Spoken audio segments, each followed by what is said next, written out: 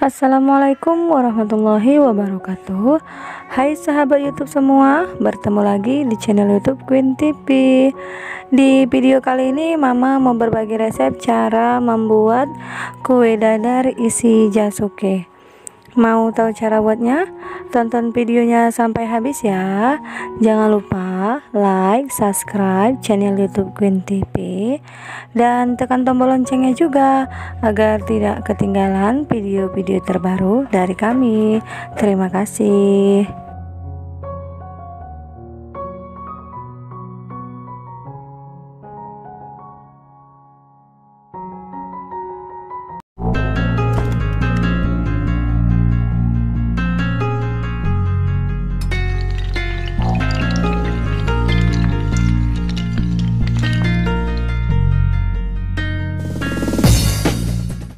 Untuk bahan isiannya saya menggunakan dua tongkol jagung. Nah ini udah saya iris-iris. Kemudian 7 sendok makan gula pasir. 2 sendok makan bubuk susu. 500 ml air. 5 sendok makan tepung maizena. 30 gram keju. Dan sejumput garam. Siapkan wadah. Kemudian masukkan gula pasir ini sebanyak 7 sendok makan. Kemudian tambahkan 2 sendok makan susu bubuk. Kemudian masukkan garam. Kemudian tambahkan 3 sendok makan tepung maizena kemudian tambahkan air sedikit demi sedikit. Ini sambil kita aduk agar tidak ada uh, tepung yang bergerindil.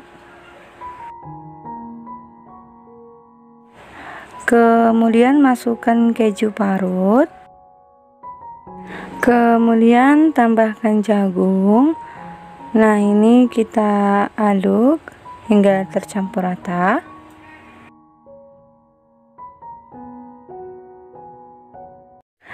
kemudian ini kita masak menggunakan api sedang. Nah ini sambil kita aduk terus ya sampai mendidih agar bagian bawahnya itu enggak gosong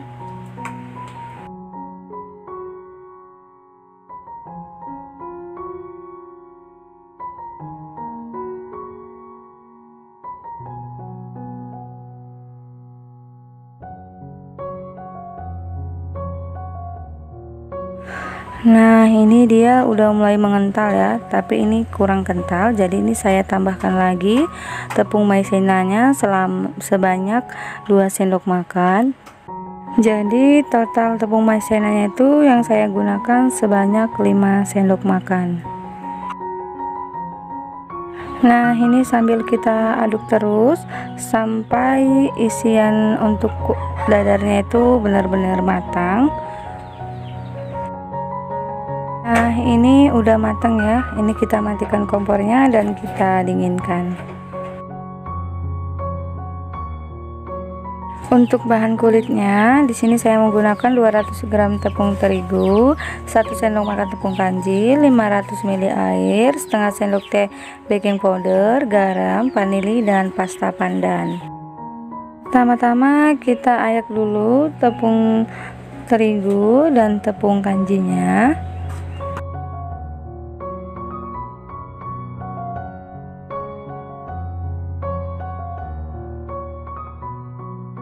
Kemudian masukkan baking powder dan garam. Kemudian tambahkan seperempat sendok teh vanili. Kemudian ini kita tambahkan air sedikit demi sedikit ya sampai adonannya itu eh, benar-benar tercampur rata ya dan tidak ada lagi yang bergerindil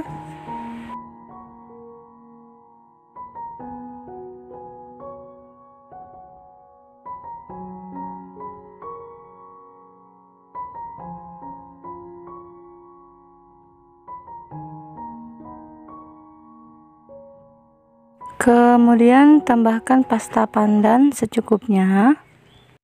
Lalu kita aduk hingga tercampur rata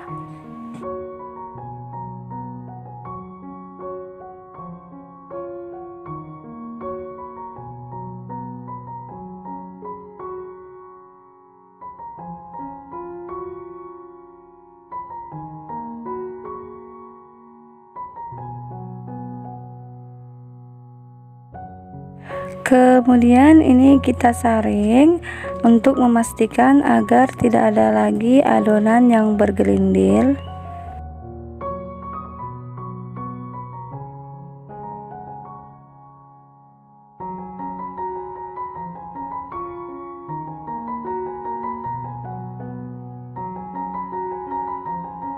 panaskan teflon kemudian olesi dengan minyak.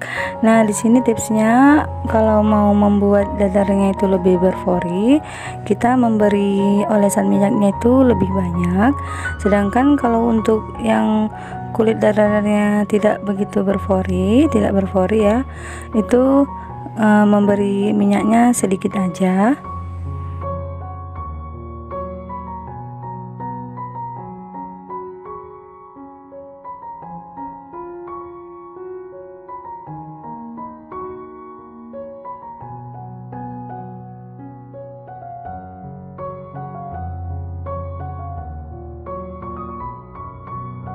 Lakukan hingga semua adonan selesai.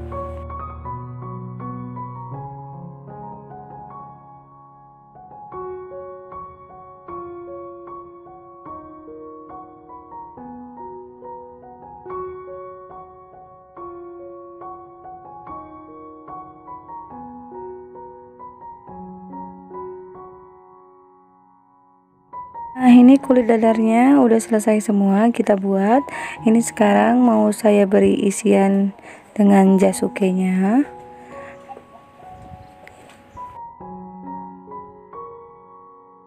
dan ini kita gulung lalu kita lipat pinggirnya pinggir kanan dan pinggir kirinya. Kemudian ini kita gulung kembali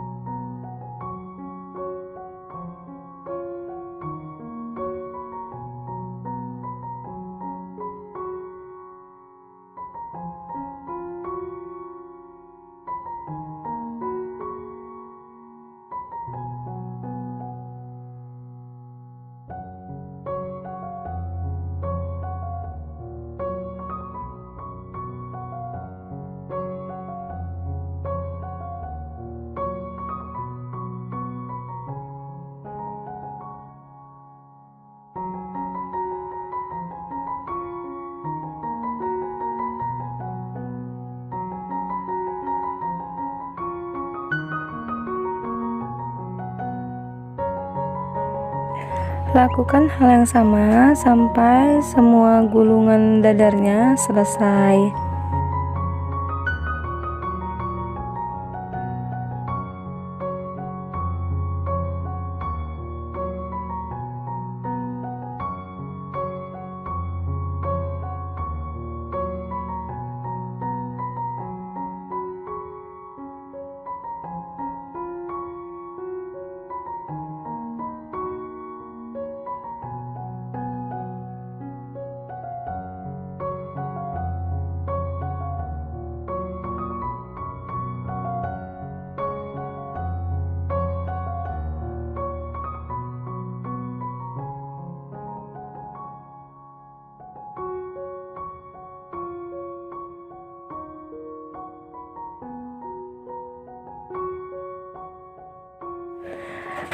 Nah, ini dia eh, dadar gunung isi jasuke-nya udah jadi.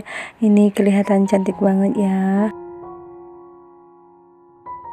Nah, ini mau saya cobain sepotong. Nah, untuk isian dalamnya tuh seperti ini. Kelihatannya ini lumer banget. Nah, ini kelihatan kenyal banget ya. Nah, ini mau saya cicipin. Bismillahirrahmanirrahim. Hmm, ini rasanya enak banget Manisnya pas Terus ini teksturnya lembut banget. Uh, uh, Jagung dan susunya itu berasa banget Pokoknya ini mantul banget ya bunda. Ini recommended banget Wajib dicoba. Dan ini juga bisa buat ide jualan ya bunda karena kan orang jarang banget kalau isiannya jasuke jadi ini recommended banget. Ini mantul pokoknya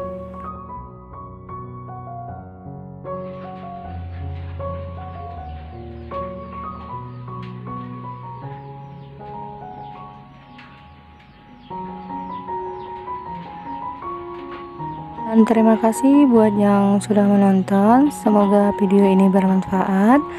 Dan jangan lupa like subscribe channel youtube Queen TV dan tekan tombol loncengnya juga agar tidak ketinggalan video-video terbaru dari kami. Terima kasih. Wassalamualaikum